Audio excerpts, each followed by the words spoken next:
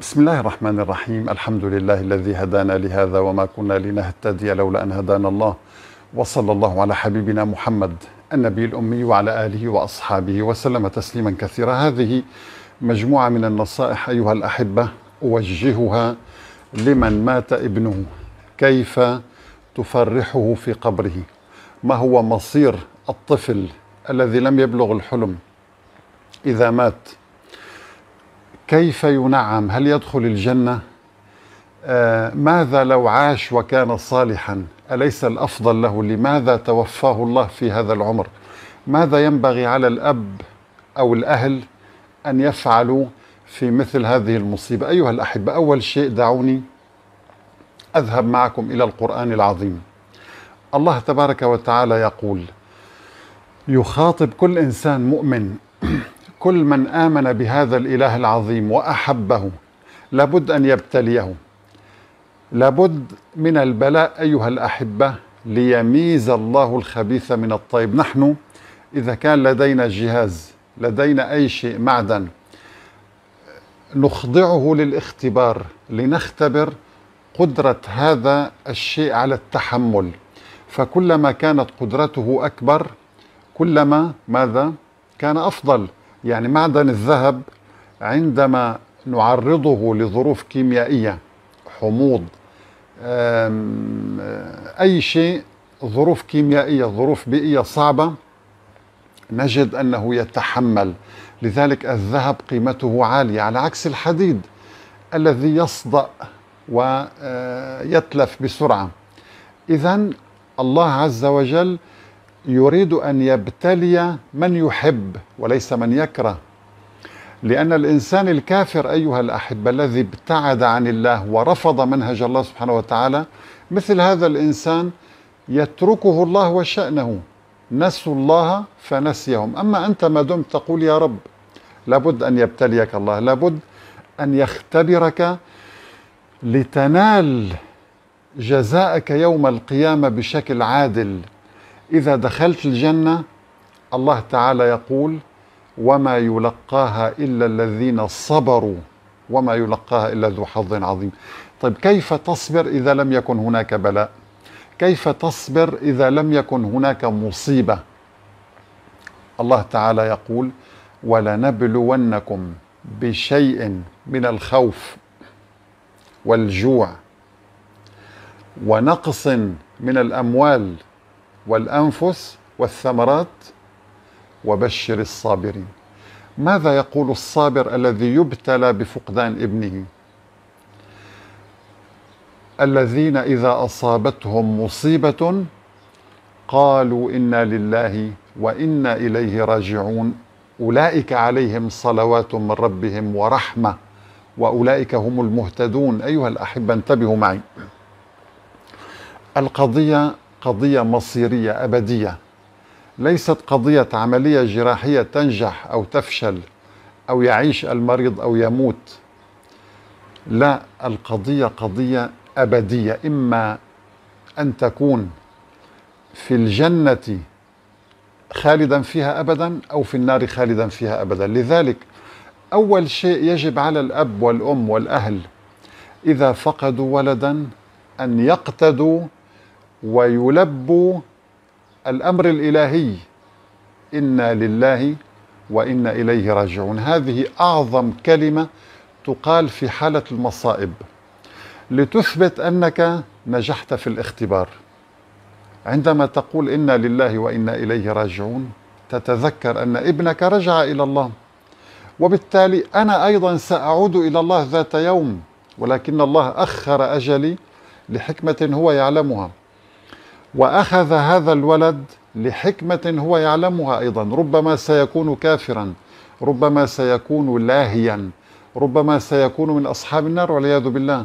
لذلك الطفل دون البلوغ إذا مات طبعا ليس عليه تكليف وليس عليه حساب وبالتالي سيكون إن شاء الله من أهل الجنة وهو أعلم به سبحانه وتعالى. فهذا هذا الغلام مصيره في الجنة إن شاء الله. ونحن طبعا لا نع... لا نستطيع أن نحدد مصائر العباد. الله يغفر لمن يشاء ويعذب من يشاء ولكن نحن نرجو من الله سبحانه وتعالى أن يكون هذا الطفل في الجنة. طيب. الأب يتساءل طيب لماذا أخذ الله ابني؟ يعني كنت أنا سأفرح به. سيكبر أمام عيني إلى آخره. أخي الحبيب والله أنت لو اطلعت على الغيب لاخترت الواقع. لو أن الله أطلعك ماذا سيحدث في المستقبل ستكون قناعتك بالواقع مئة بالمئة. لذلك ريح نفسك واعلم أن, أن هذا الإله عليم بشؤون عباده خبير بمستقبلهم. فالله اختار له هذا المصير لحكمة هو يعلمها. فهذه الحكمة أنا بالنسبة لي أجهلها ولكن أنا مأمور أن أقتنع وأرضى ولا نقول إلا ما يرضي الرب القلب يحزن ولكن نحن نرضى بقضاء الله. سيد البشر صلى الله عليه وسلم فقد ابنه إبراهيم وفقد أبناء كثيرون أيضا أبناء وبنات ولكنه لم يكفر لم يقل يا رب لماذا أخذت ابني؟ كان يرضى بقضاء الله نجح في الاختبار. لذلك نجد أن هذا النبي عليه الصلاة والسلام لا يوجد أذى أو مصيبة أو أي بلاء إلا تعرض له هذا النبي. فالأنبياء هم أشد الناس بلاء.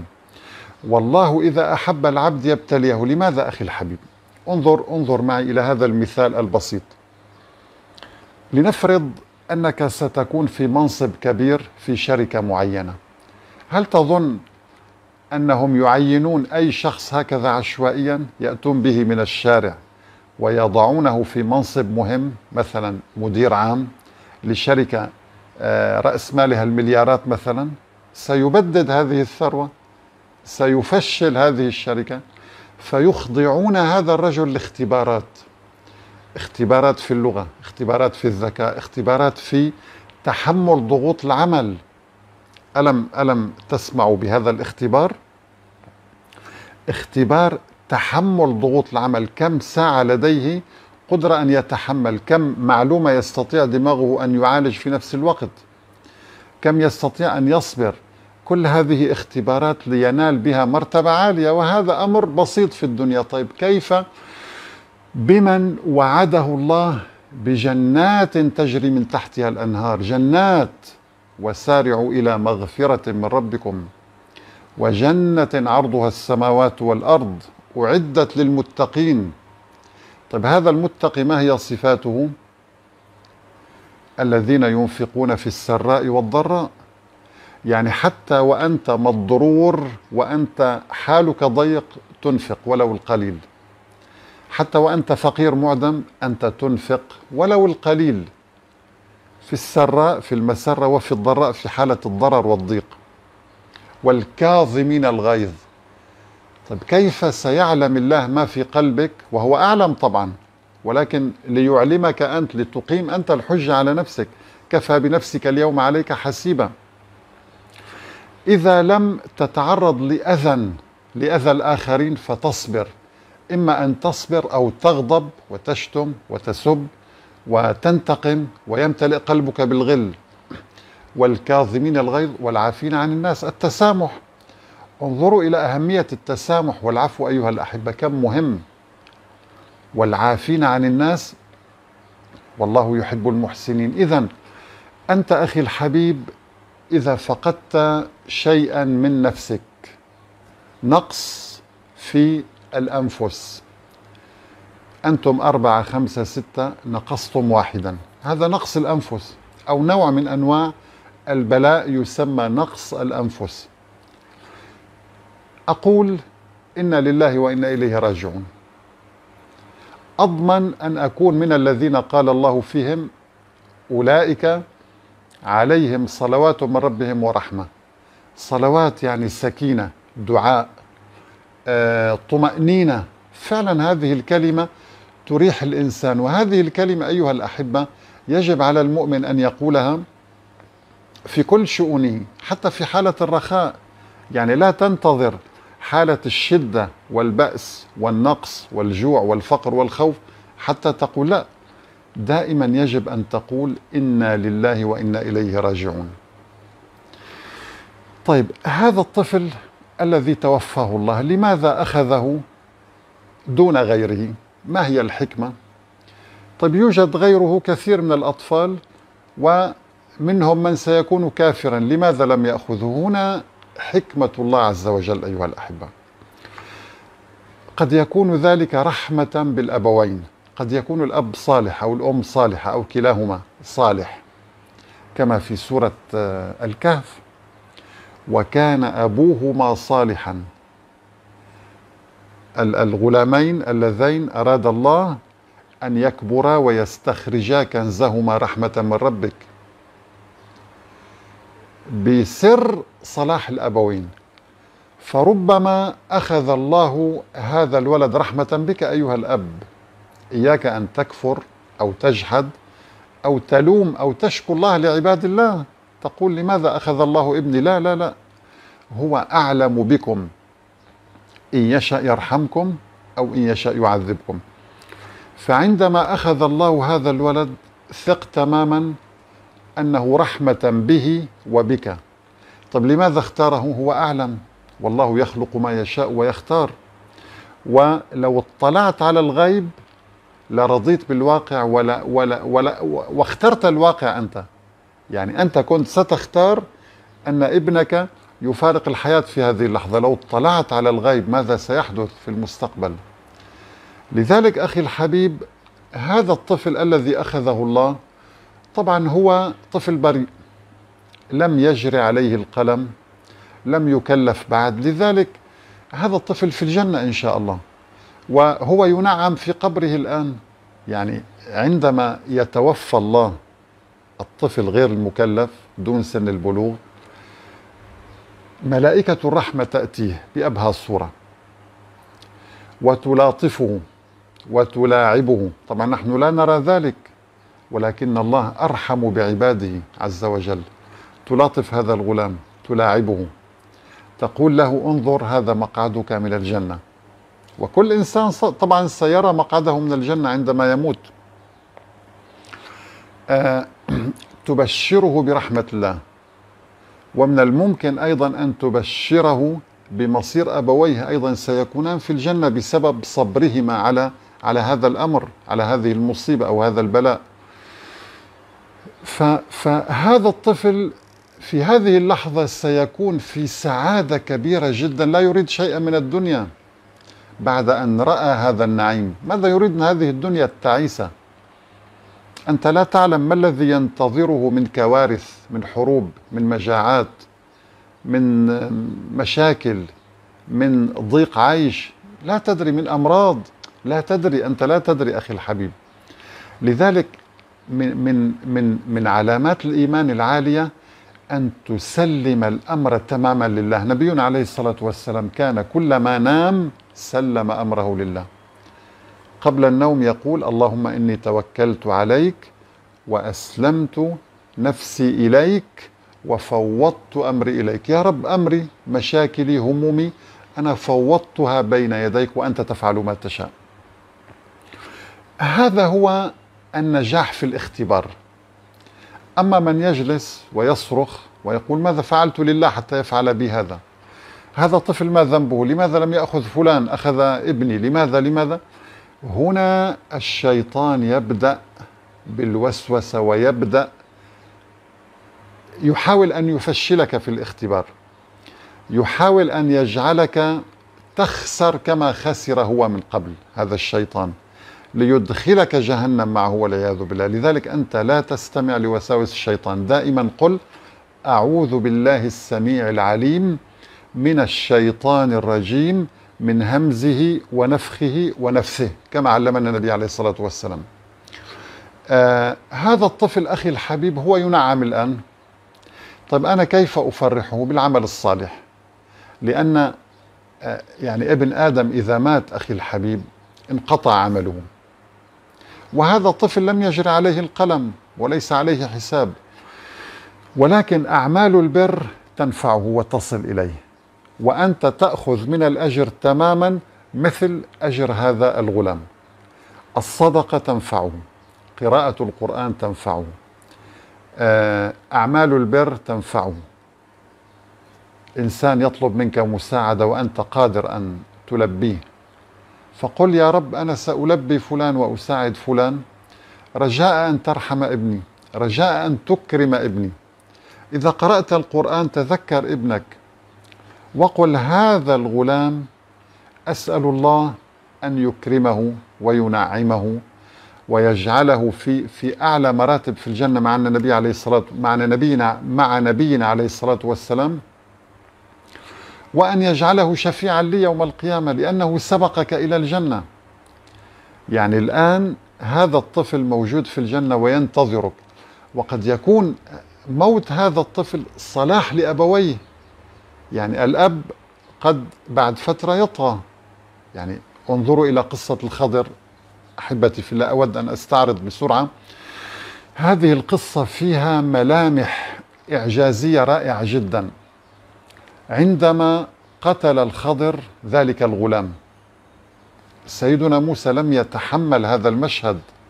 قال أقتلت نفسا زكية بغير نفس. لقد جئت شيئا نكرا. وسيدنا الخضر هنا ماذا قال له من قبل؟ قال وكيف تصبر على ما لم تحط به خبرا؟ لم يخبرك أحد بأسرار هذا السلوك الذي أنا أقوم به. فلا تستطيع أن تصبر وبالفعل لم يصبر على الرغم من أن سيدنا موسى انتبهوا وكلم الله موسى تكليما كلمه الله. وسيدنا موسى أوتي من العلم الشيء الكبير جدا لدرجة أن الله كلمه. كان على مستوى عالي من العلم. على الرغم من ذلك لم لم يستوعب الحكمة من هذا العمل فاعترض على الفور. لأنه لو فهم الحكمة لما اعترض. فهنا سيدنا الخضر جاء ليعلمه وليقول له كما قال تعالى وفوق كل ذي علم عليم. فقال ف... وأما الغلام فكان أبواه مؤمنين فخشينا أن يرهقهما طغيانا وكفرا. فأردنا أن يبدلهما ربهما خيرا منه زكاة وأقرب رحما أراد الله أن يبدلهم يبدل الأبوين خيرا منه بولد صالح. طيب اذا أنت خسرت ولد ولكن الله أبدلك خيرا منه. إذا القضية هنا أخي الحبيب لو حسبناها كقضية اقتصادية آه أنت خسرت شيء أصلا هو فاشل وخاسر ومن أهل النار والعياذ بالله وسيطغيك يأخذك معه إلى النار وأعطاك الله ولدا صالحا بارا بك. هذا أفضل من مليون ولد عاق قد قد يكون عاق لأبويه. يعني يعني أنت قد يكون هذا هذا الولد عاق لك في المستقبل أنت لا تدري فأبدلك الله خيرا منه. وبالتالي هذا الولد رحمه الله وأدخله الجنة أيضا أيضا هو في الجنة. اذا الرحمة شملت الغلام وشملت الأبوين وشملت الولد الجديد الذي سيرزقان به. لذلك أخي الحبيب لا تقل ما الذي فعلته ليضيق الله رزقي ليأخذ ابني؟ ما الذي فعلته لأبتلى بهذا الأذى لأبتلى بهذه الزوجة لأبتلى بهذا الخوف لأبتلى بهذه المصائب بهذه الأمراض؟ لا يا أخي. الدنيا ساعة ويوم تقوم الساعة يقسم المجرمون ما لبثوا غير ساعة. الدنيا مدتها ساعة واحدة فقط من ساعات يوم القيامة. هذه الساعة أرادك الله أن تبتلى بها كما ابتلي النبي الأعظم صلى الله عليه وسلم وهو أحب الخلق إلى الله. يعني تصور أن النبي حتى اليوم يؤذى حتى اليوم انظروا إلى الرسوم المسيئة. انظروا إلى من يتهم النبي في عرضه وفي شرفه وفي عقله. الآن الآن وأنا أتكلم معكم هناك من يستهزئ بالنبي من الملحدين. كل هذا بلاء يعني حتى بعد موته النبي مبتلى صلى الله عليه وسلم. وهو لم يرد إلا الخير للناس جاء ليعلمنا الخير ليعلمنا ليضمن لنا الحياة الهادئة المستقرة. اذا أخي الحبيب باختصار كل أعمال البر ثق تماما أنها تصل لابنك. الدعاء يصل. آه، قراءة القرآن تصل. آه، مساعدة الآخرين. حتى إذا عفوت تذكر ابنك كلما دعتك نفسك للغضب أو لأن تعمل شيء يعني فيه انفعال أكظم هذا الغيظ واعفو عن الناس وقل عسى الله أن يعفو عني وعن ابني. وثق تماما هذا الثواب سيصل إن شاء الله إلى ابنك. الشيء الثاني يجب أن يكون لديك رضا كامل بقضاء الله. النبي عليه الصلاة والسلام يقول آه، من قال حين يمسي وحين يصبح رضيت بالله ربا. وبالإسلام دينا وبالقرآن إماما وبمحمد صلى الله عليه وسلم نبيا ورسولا كان حقا على الله أن يرضيه يوم القيامة. نسأل الله سبحانه وتعالى أن يرضينا يوم لقائه وأن يرضينا في هذه الدنيا حتى نلقاه وهو راض عنا. وآخر دعوانا أن الحمد لله رب العالمين والسلام عليكم ورحمة الله تعالى وبركاته.